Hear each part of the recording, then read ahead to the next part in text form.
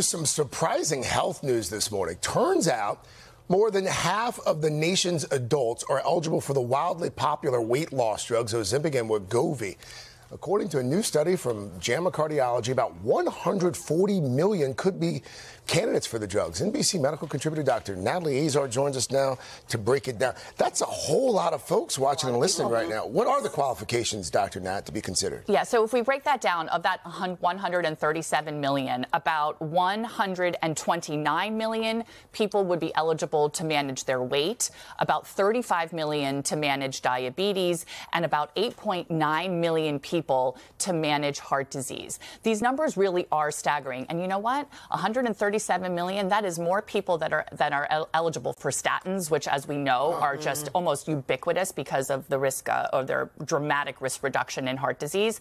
And this comes at a very timely moment for us because just last week there was a report that um, that showed that about 75% of Americans are either overweight or obese, and in 1990 that number was just over 50%. Wow. And the estimate is that 80% of people are going to be so by 2050. So this is definitely one of those wake up calls to say, wow, a lot of people mm-hmm. are definitely eligible for this medicine. What does that mean that insurance has to cover? Because these are very expensive medicines. They are very expensive, and that is the rub, Savannah. So if we're talking about commercial insurance, yeah, there's a little bit more wiggle room there in terms of covering for weight management. But take a look at what how Medicare covers this. It is covered for diabetes. It's covered for what's called secondary secondary prevention for heart disease. So if you're overweight or obese and you've had a heart attack or a stroke, for example, they will cover it. But Medicare does not cover it for weight loss management alone.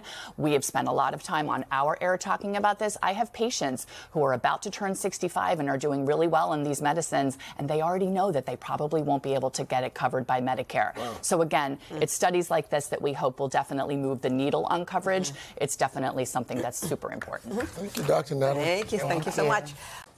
Hey, thanks for watching. Don't miss the Today Show every weekday at 11 a.m. Eastern, 8 Pacific on our streaming channel, Today All Day. To watch, head to today.com slash all day or click the link right here.